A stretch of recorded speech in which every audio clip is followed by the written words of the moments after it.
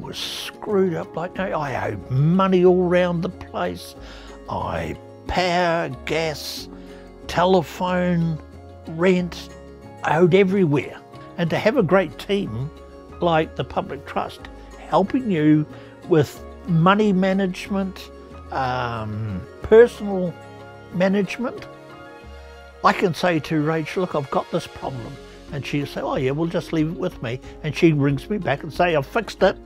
I've got the public trust behind me. And I can always ring them up and say, hey mate, help.